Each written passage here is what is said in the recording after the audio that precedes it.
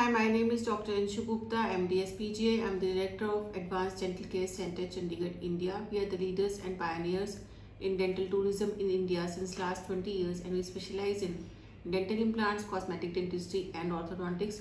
Today in this video, we are going to discuss whether the implants feel like natural teeth. Most of the patients who come to us for the dental implant procedure, they ask us if the implants feel like natural teeth or will they be able to function like natural teeth?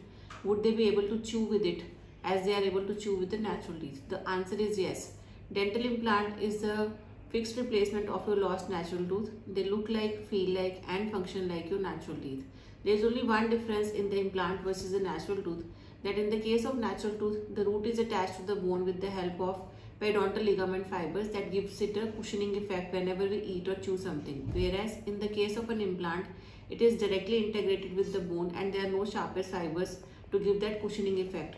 So one should avoid extremely hard and rigid substances like chewing on ice, opening coke or cola bottles or beer bottles or extremely hard things like Indian chikki, gajak, ravioli, etc. with dental implants to increase their longevity. Otherwise, the implants they totally look like, feel like and function like your natural teeth. Thank you.